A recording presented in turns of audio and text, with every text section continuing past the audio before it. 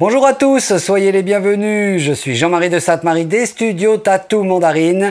Eh bien écoutez, on va continuer cette série sur l'art de l'enregistrement. Alors, si vous prenez un peu cet épisode euh, brut pour point là comme ça au milieu, bah, je vous invite fortement quand même à aller voir les épisodes précédents. Auquel cas, vous risquiez peut-être de nager un petit peu.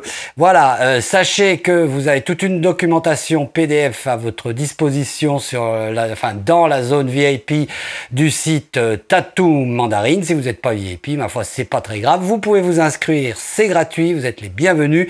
Vous avez tout en descriptif. Aujourd'hui, nous allons notamment nous pencher sur le cas de, la basse, des guitares. Je dis des parce qu'il y a les guitares acoustiques ou électroacoustiques, ainsi que les guitares électriques dites solid body, un corps plein. Et sachant que également les, ces instruments-là peuvent être soit virtuels, soit réels. Et derrière, on va utiliser des amplis qui peuvent être soit réels, soit virtuels. Donc du coup, on se retrouve avec plein de, de, de, possibilités diverses. Et sachant également que dans chacun de cas de figure, vous avez, on va le voir, on a plus qu'intérêt à prendre des pistes entre guillemets un peu particulières. Alors on va commencer par la basse. Alors on va tout de suite à l'écran. Je prends mes yoyettes. Voilà, ça c'est sur les oreilles. Voilà. Donc vous voyez qu'ici, euh, Ignace arrive avec sa basse et euh, j'ai concocté donc une petite ligne de basse pour euh, habiller notre, notre exemple.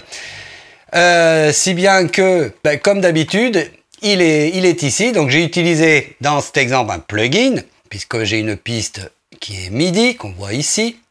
Donc cette piste, j'ai le correctif, ben, ça c'est très facile à faire, ça c'est un des avantages du MIDI, c'est certain. Donc qu'est-ce qui va se passer? Eh ben, Ignace qui est à la basse, eh ben, tout simplement, j'envoie ça vers une tranche euh, de, j'envoie ça à la régie, on va dire, comme d'habitude. Je l'ai appelé ampli basse.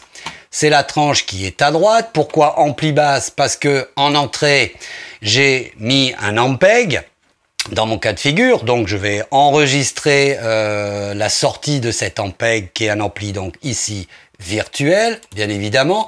Derrière, comme d'habitude, je pars, j'entre dans ma console de mixage. Derrière, je rentre vers mon magnétophone, ici mon Studer. Et par le biais du petit bouton qui est ici, j'envoie vers une piste magnétique qui s'appelle basse amp, comme ampli, qui est la piste qui est à droite, bien évidemment. Je règle ici pour avoir une moyenne d'environ moins 18 dBFS et je prévois dans l'avenir, quand j'ai terminé, d'enregistrer en mono. Pas une piste stéréo puisque là j'ai un instrument mono. Voilà. Donc là j'ai fait tous les, petits réglages dans, ce cas de figure et ça donne ceci. Je vous rappelle que la partie du bas c'est la partie monitoring qui a aucune influence sur la partie magnétique. Vous noterez au passage ici voyez l'intérêt de mettre en sécurité un petit limiteur Parce que l'air de rien, même si là on a toujours tendance à mettre un peu des niveaux de ouf, donc ce qui n'est pas grave, mais euh, on a quand même une sécurité qui est là-haut. Donc voilà pour l'exemple. Donc là on se dit, ben Jean-Marie, hop, pof, pof, on passe à la suite. Oui, sauf que quand vous enregistrez une basse, vous avez plus qu'intérêt euh, à enregistrer en plus de, de vendre la basse avec euh, ampli, euh, ce qu'on appelle une prise en DI, Direct Injection. Alors ça veut dire quoi une prise en DI ben, Tout simplement, ça veut dire que votre basse, à la base, vous partez de l'instrument, euh, virtuel ou pas, et vous allez directement dans la carte son. En bref, on veut pas d'ampli, on veut pas de, on veut absolument rien. Pourquoi il faut ces, ces, DI Pourquoi c'est bienvenu? Ben, C'est bienvenu parce que quand vous allez attaquer en mix cette fois-ci, euh, quand vous allez attaquer la, la, basse, très souvent on reçoit une basse avec ampli, via ampli, une basse en DI, ce qui permet de la décomposer euh, et notamment d'aller chercher la structure basse. Là, vous avez vu qu'il y a une structure très basse, très appuyée. À la limite, le, haut du spectre, on s'en fout un peu.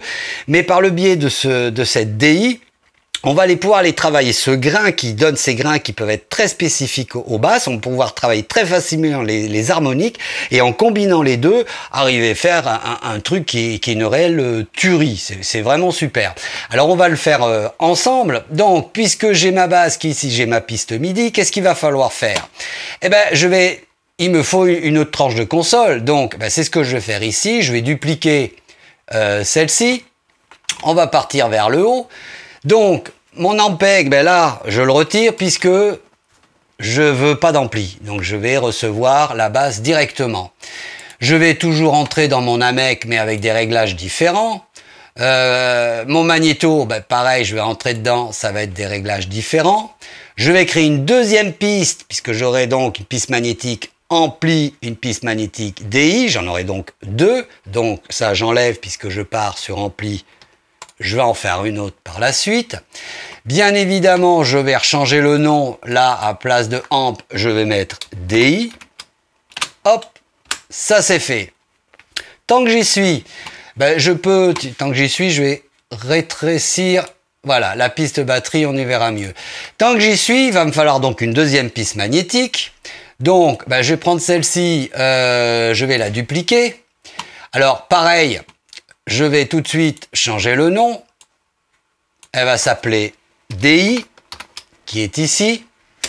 Paf, au passage, petit piège, ça me rajoute un envoi ici, vous voyez, vers DI. Pensez à le retirer. Hein, ça c'est fait partie des petits. En tout cas sur, Reaper. Peut-être ça le fait avec votre MAO, je sais pas, à voir, à vérifier. Euh, ben, par définition, j'ai bien une, une, sortie mono puisque j'enregistrerai au final une piste en mono, c'est une basse. Euh, ben, ici, ça change pas. Mon vumètre va être en mono, format Studer. Je vais garder le jaune et donc je n'ai plus qu'à partir d'ici, envoyer toujours en préfadeur, post FX, comme d'habitude. Alors première chose qu'on va faire, ça on va le faire ensemble. Je vais, euh, alors on va ruser, hein, on va on va tricher. Je vais me mettre en solo ici. Euh, je vais aller prendre un truc tout fait. Vous voyez d'ailleurs il existe Bass Direct Injection. Vous voyez il existe des presets. Euh. Alors je vais mettre en marche.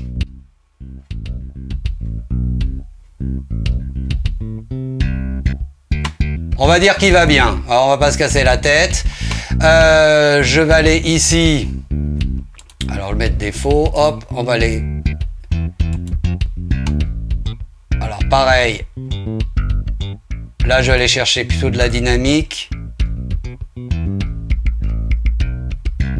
On va partir là.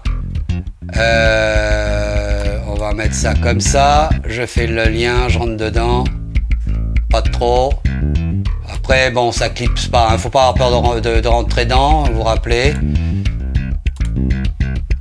Déjà, je vais baisser un peu. On va repartir.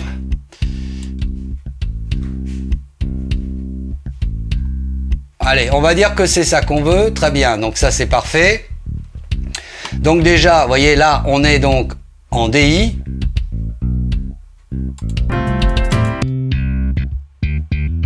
Là, c'est la base. Après, pouvez au niveau monitoring, et c'est ce qui fera au mixage, jauger les deux en fonction des, goûts des uns et des autres. Ça, on fait absolument ce qu'on veut, puis ça n'a aucune incidence euh, sur, euh, sur la fin qui est, qui est là-bas. Donc, ben, qu'est-ce qui va nous rester à faire? C'est de mettre environ... Euh, alors, je vais me remettre en solo là, de remettre environ moins 18 dB ici. Vous voyez que là, je tape carrément dans les limbes, je pars, je pars sur les... Hop on calme, ta joie. Voilà. Hop, on va repartir au début. Voilà, on va dire que c'est bon, que je suis à moins 18 dB. Donc là, j'ai terminé. Et vous remarquerez donc au passage, donc c'est super facile, et au passage, vous remarquerez euh, pourquoi, c'est la raison pour laquelle, euh, vous voyez, j'ai mis l'ampli virtuel ici, je ne l'ai pas mis ici. J'aurais pu le mettre là-haut. Seulement voilà, euh, le problème, si je le mettais là-haut et que je renvoyais ici, je pouvais plus enlever euh, l'ampli basse. Évidemment, c'est un problème. Euh, alors vous allez me dire, bah, c'est pas grave. À ce moment-là, une chose qu'on aurait pu faire, c'est dupliquer, le mettre l'ampli ici, dupliquer la piste avec le, MIDI, et puis tout simplement sur la deuxième piste retirer, retirer l'ampli. Oui, on aurait pu. Dans le cas du MIDI, j'aime pas trop J'aime pas trop parce que euh, là, on est, on prépare le truc pour un enregistrement et vous savez ce que c'est dans ces cas-là. Ah ben finalement, je vais changer une petite note. Et là, forcément, ben, il va falloir changer sur deux pistes, etc., etc. C'est du midi, donc c'est plus souple à mes yeux. Ce serait du Waves et on verra le cas. Là, on n'a pas le choix. Il va falloir faire autant d'enregistrements que euh, et de pistes donc que qu'on a besoin. Hein. Ça, c'est ce qu'on va voir. Seulement là, si on foire une note, bon, ben, il faut reprendre. De toute façon, on va pas, on peut pas, c'est pas du midi. Vous avez compris le, vous avez, vous avez très bien compris le truc. Alors vous allez me dire, qu'est-ce qu'on fait si on a une vraie basse, une vraie basse électrique? Bah, Si vous avez une vraie basse, euh, à supposer que vous, vous, utilisiez des amplis virtuels. Bon, bah là, vous l'avez deviné. Vous prenez, euh, vous branchez directement votre basse hop dans le dans le dans votre carte son. Et puis bah, vous allez pouvoir procéder exactement euh, de, de la même façon.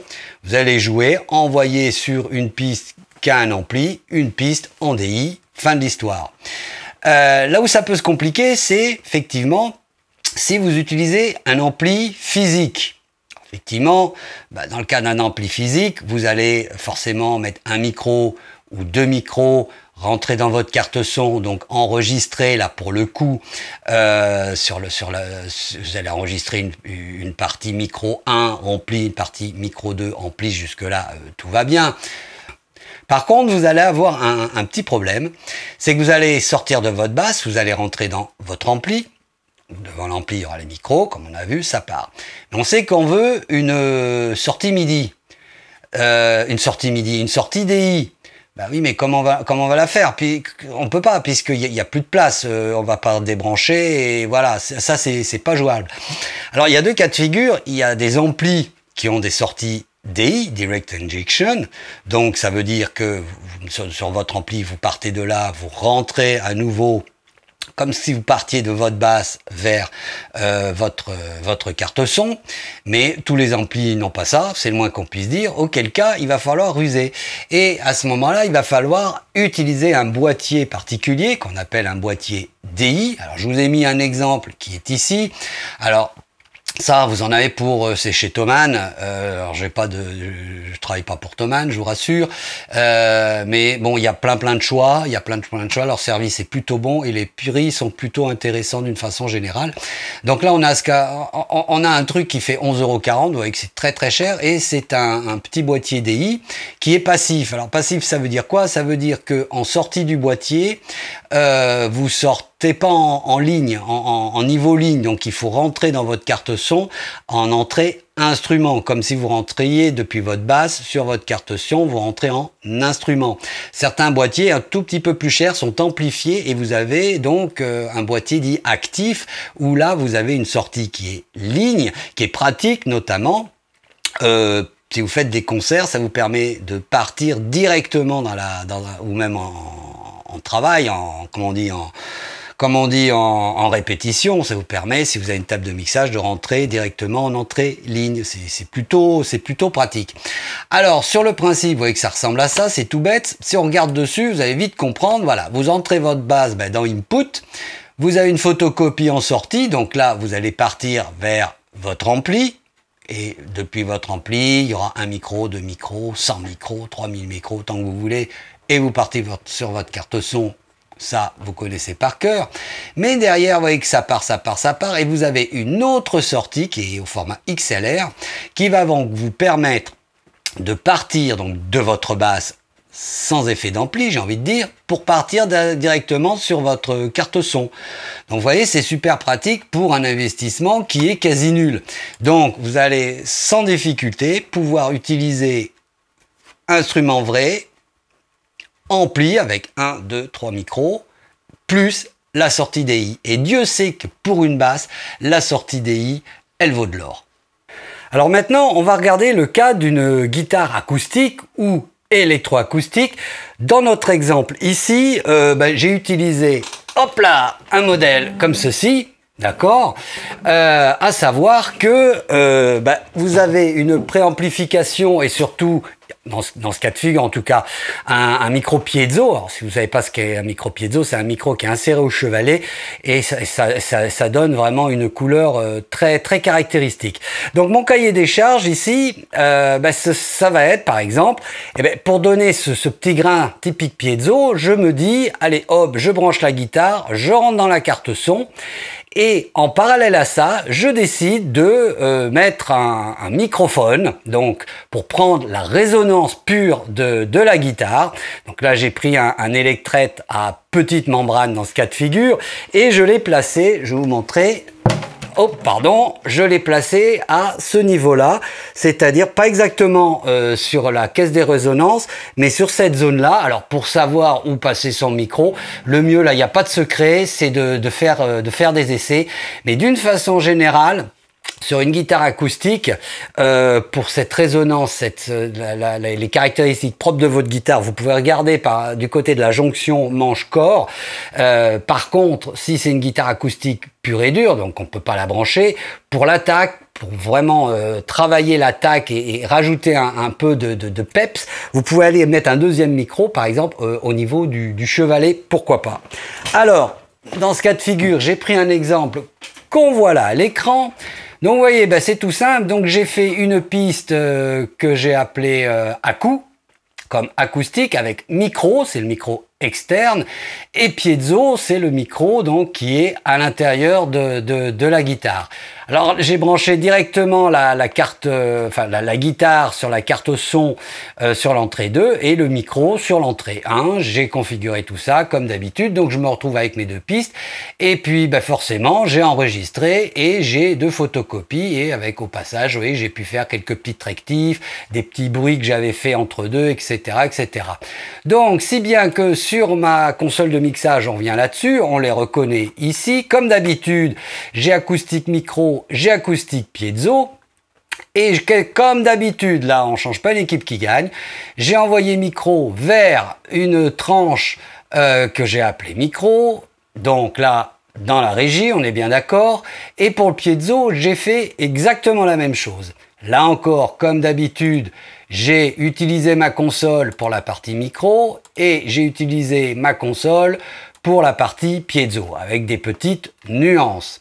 Là où ça va changer, c'est que moi, au final, je me dis, dans cet exemple, je vois pas l'intérêt d'aller faire au final deux pistes magnétiques, ça n'a aucun sens. Je prends la décision maintenant de prendre mes, mes, mes, deux sons en quelque sorte, de combiner tout ça et d'envoyer tout ça au final sur une seule piste magnétique. Voilà un bon exemple. Donc je prends la décision. Donc qu'est-ce que j'ai fait?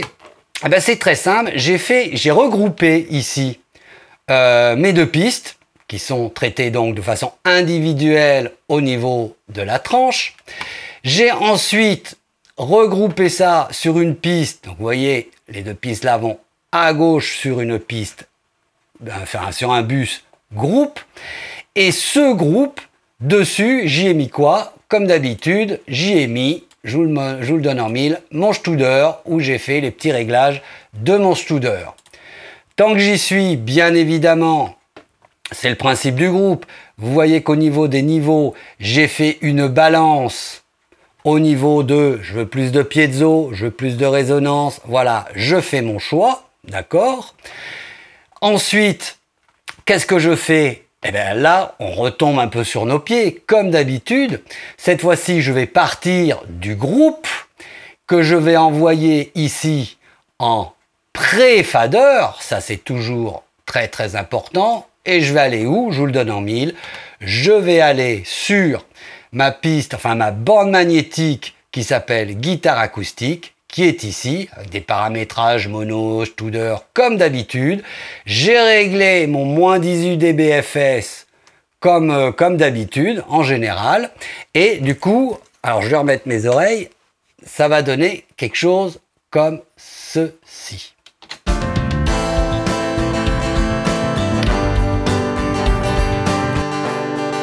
Voilà ce que donne le piezo quand il est tout seul.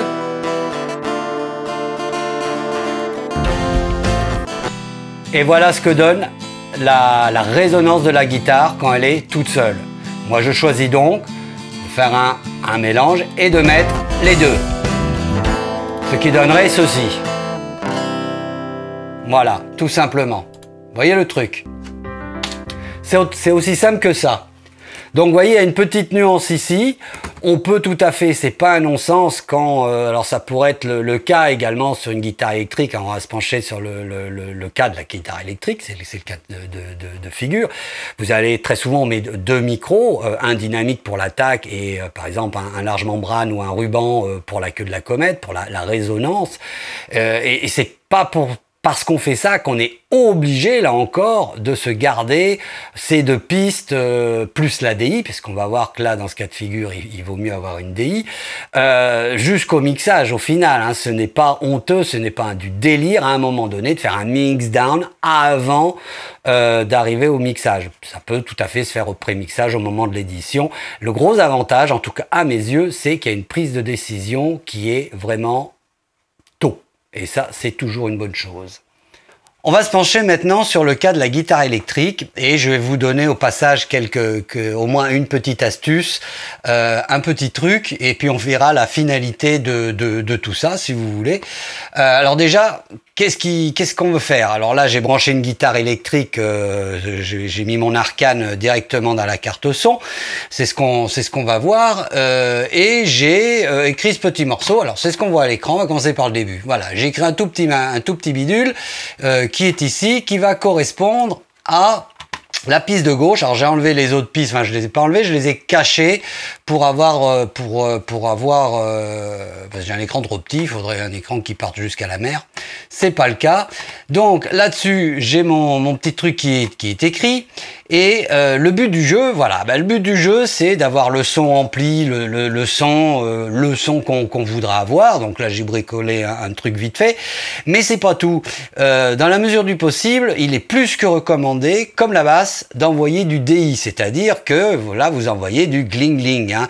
Euh, ça, c'est clair. Alors, contrairement à la basse, c'est pas forcément une piste qu'on utilisera, c'est une piste route secours, mais euh, il est recommandé, vraiment recommandé de le faire. Pourquoi? Parce que ben, tout simplement, euh, si vous n'êtes pas sur votre son ou si vous n'avez pas le, matos euh, qui tue de la mort, euh, qui de la galaxie, le truc à, à 10 000 euros, si vous voulez, le fait d'envoyer ça euh, en mixage, et eh ben avec les technologies modernes, il n'y a, rien de plus simple que de, de, bombarder ça sur des amplis virtuels et puis ben, de voilà de recalibrer le truc et vous avez vraiment un, un truc super chiadé.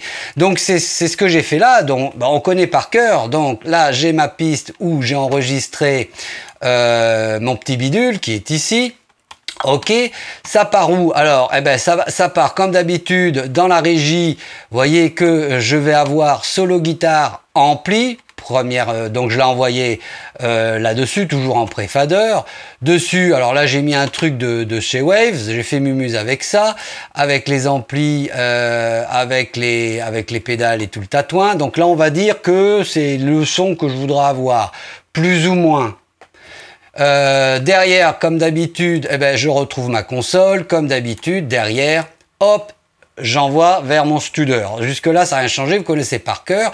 J'ai fait la même chose sur mon sur ma piste euh, Directed Junction, qui est ici, DI, sauf que, petite, euh, petite, euh, petit détail, là, puisque c'est une piste route secours, il n'est pas nécessaire, voire même pas forcément recommandé, de passer sur une console. Euh, euh, là, j'avais pris la Neve, enfin la, la MEC faite par par Neve.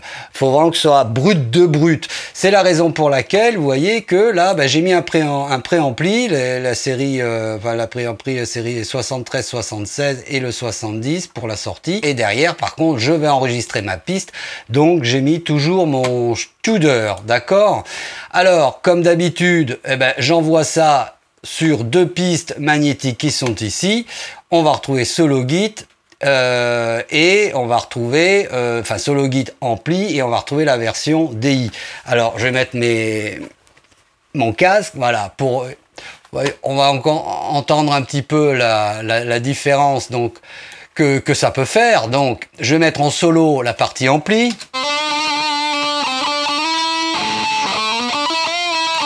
Bon, on va dire que je voudrais à peu près ça.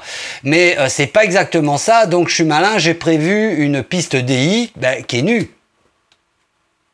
Alors, il faudrait que je monte le son, ça va être mieux. Vous voyez, là j'ai une super roue de secours. Ça vaut de l'or, ça, hein, l'air de rien. Donc, je vais rebaisser ça parce que j'en veux pas. Euh, mais maintenant, je, vous, je, voudrais vous montrer, donc ça vous savez faire, il n'y a, a, aucun souci, vous savez faire, et ensuite envoyer les, les, niveaux, moins 18 dBFS environ, bon ça vous connaissez par cœur maintenant.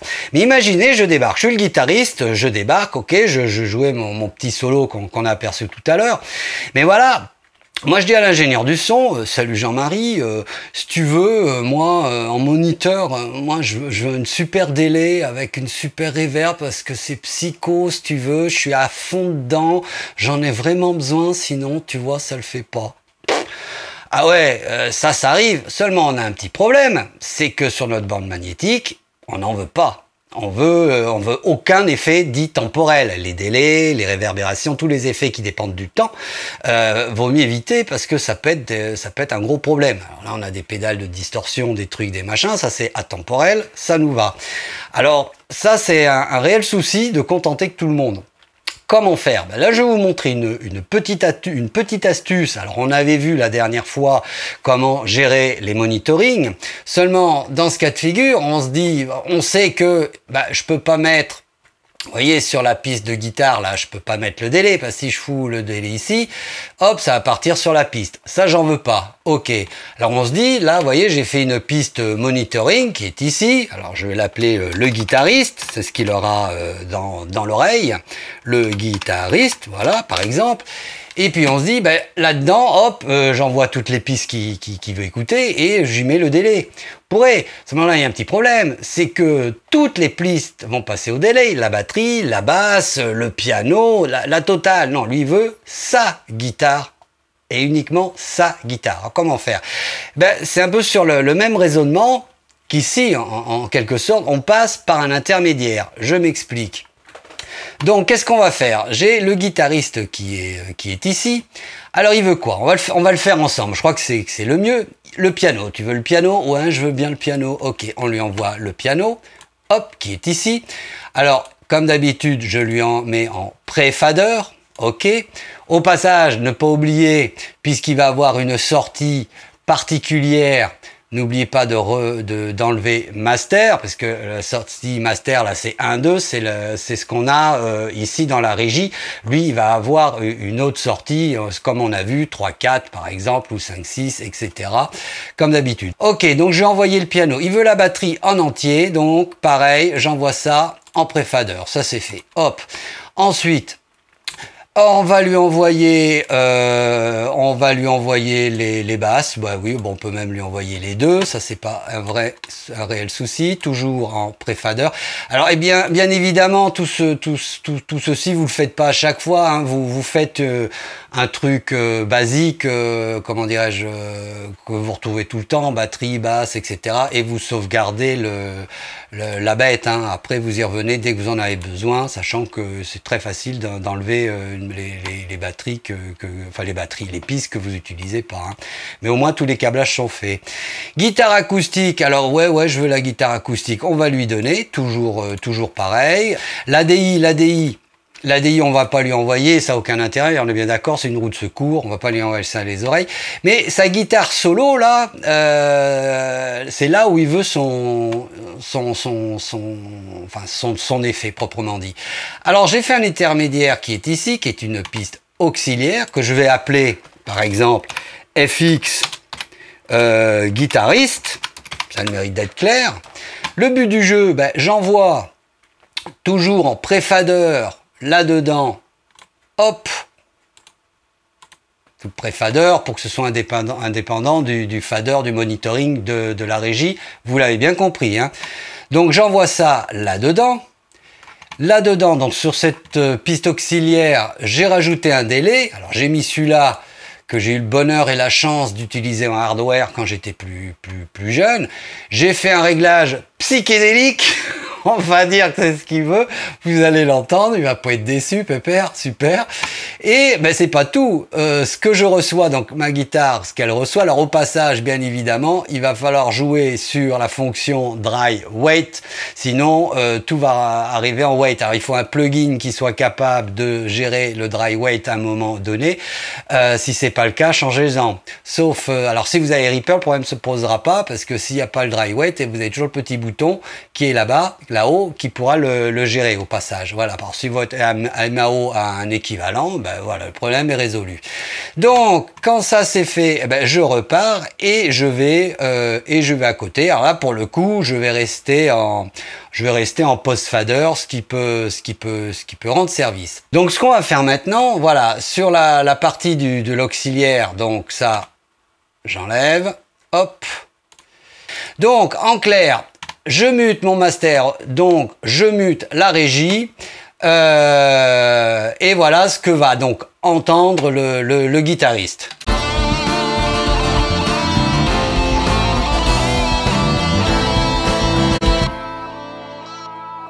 Vous voyez, il entend tout ça. Voilà ce que va entendre la régie par contre. Vous avez vu Il n'y a plus rien. Il n'y a vraiment plus rien. Donc ce que j'entends moi, c'est ce qu'il y aura sur la bande c'est Royal au bar. Donc, dans toutes les, situations, là, on l'a vu pour un guitariste, mais euh, ça, peut être euh, le gars qui joue de l'harmonica, il a besoin d'une réverb, ou euh, voilà, vous, pouvez, ou d'un, ou la, chanteuse qui a tout simplement besoin d'un, petit effet de, de comment dirais-je, euh, comment il s'appelle ce truc ben, Peut-être d'une réverb ou, éventuellement d'un petit écho. Ou, euh, vous savez, bon, pour, pour être dedans. Donc voilà, vous pouvez le faire très très très facilement. Vous pouvez lui mettre un petit phaser pour des trucs un peu un peu Pink Floydien. Enfin, tout est possible, c'est infini. Ce que je voudrais vous faire écouter maintenant, c'est quel est l'intérêt de, faire tout ça autre que, que la souplesse pour les, musiciens et, tout ce genre de choses. Euh, vous voyez, j'ai muté les inserts, là, en, tout cas sur le début, on a le piano, la basse euh, et, euh, et, le, et la batterie. Donc ça donnait ceci, ça c'est ce qu'on enregistre, en, ah, c'est ce qu'on enregistrerait couramment tous les jours.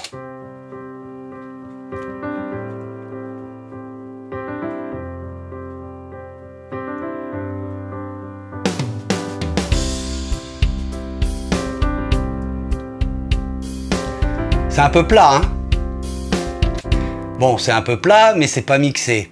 Il n'en reste pas moins comparé avec le, potentiel qu'on a justement qu'on a essayé d'y mettre. Écoutez bien.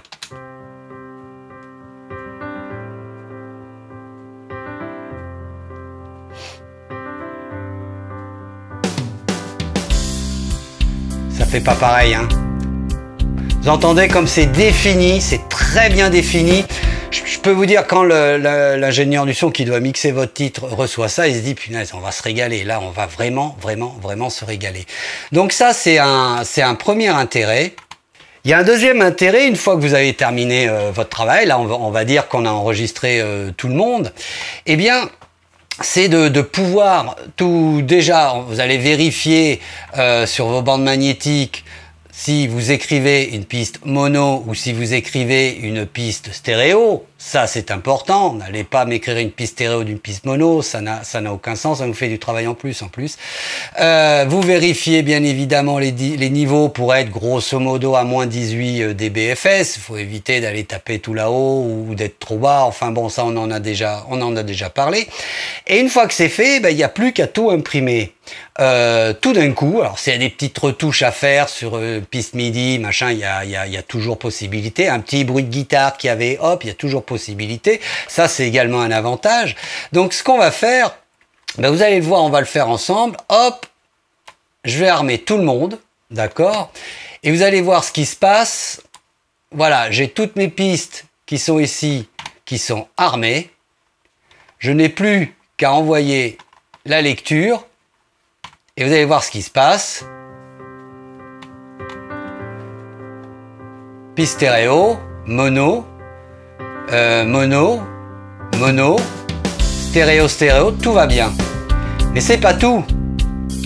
On s'aperçoit d'une autre chose. Vos pistes, elles sont automatiquement consolidé. Il n'y a plus à se poser la question, je consolide, machin. Vous voyez, non, elles partent toutes de zéro, donc elles sont toutes calées.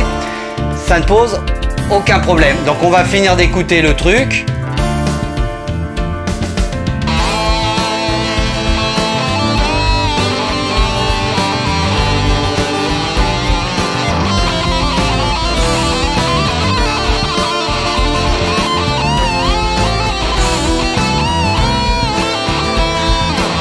Même la piste DI s'imprime, alors qu'on l'entend pas.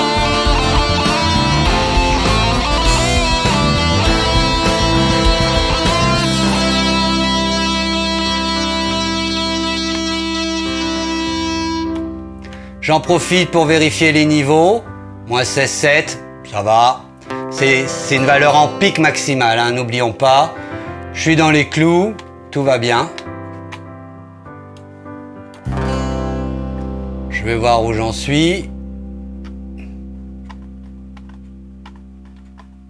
Voilà, j'arrive au bout, je laisse partir, je laisse partir, je laisse partir, je laisse partir. Faut être patient, hein. Je laisse partir, je laisse partir. Allez bien jusqu'au bout, par contre. Voilà. Hop. Et vous retrouvez toutes vos pistes. Je vous donnerai une petite astuce sur un autre tuto également, euh, qui sont consolidés, qui sont au bon niveau, qui sont euh, qui, qui, ont tout pour plaire en fait. Euh, donc j'ai plus qu'à faire sauver tout, terminer, fin de l'histoire. Voilà. Bah écoutez, j'espère que cette petite... Alors je vous rappelle hein, que vous avez un document comme d'habitude hein, qui, qui, reprend tout ce qu'on a vu là hein, dans, parmi, enfin, dans la zone VIP des, des, des studios Tattoo. Si vous n'êtes pas membre, vous le savez, vous venez nous rejoindre, ce sera avec plaisir. Vous êtes vraiment, vraiment les, les bienvenus. Euh, Qu'est-ce que je voulais vous dire? Euh, si vous avez des questions, des, choses euh, qui vous, parce que c'est vrai qu'on on, découvre un peu ça, ça peut être un petit peu compliqué. Euh, c'est pour ça qu'une fois que c'est CV, c'est bien de se faire un preset, un truc euh, bien, bien, bien prêt. Euh, mais si vous avez des questions, surtout n'hésitez pas à les poser, bah, soit en commentaire, soit, soit via le mail. Je me ferai un plaisir d'y répondre. Et la prochaine fois, donc au, au prochain épisode, toujours sur l'enregistrement, bah, cette fois-ci, on y est. Vous l'attendez, je sais. On, on, je, je vais vous montrer comment on peut refabriquer une piste overage de, enfin overhead de batterie, ainsi qu'une piste rooms de batterie. C'est pas tout. Euh, si vous êtes batteur, euh, je vous montrerai euh, une astuce, pas une astuce, mais une, une façon de faire un petit investissement pour avoir accès vraiment à des batteries très très haut de gamme, mais vraiment très très haut de gamme, ce qui vous permet de changer de batterie comme de chemise, y compris si vous avez à la maison une batterie, même une batterie d'école, vous pourrez jouer avec du très lourd dessus, mais ça c'est pour la prochaine fois. Eh bien écoutez, il ne me reste plus qu'à vous souhaiter de bons mix, de bonnes compos et surtout de bons enregistrements. Je vous souhaite une belle, une belle semaine. Et eh ben moi je vous dis euh, bah, la semaine prochaine. Ciao, bye bye